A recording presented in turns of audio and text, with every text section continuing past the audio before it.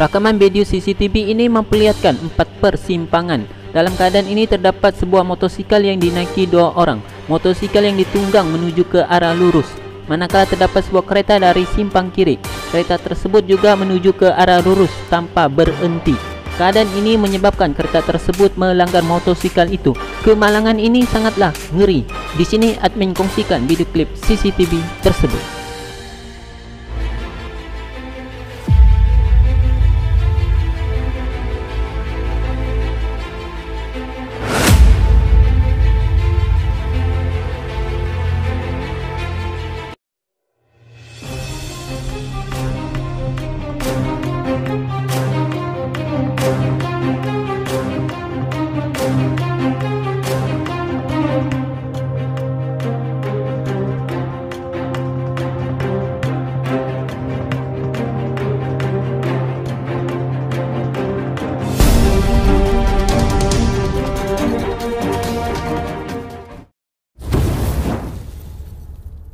Apa komen Anda?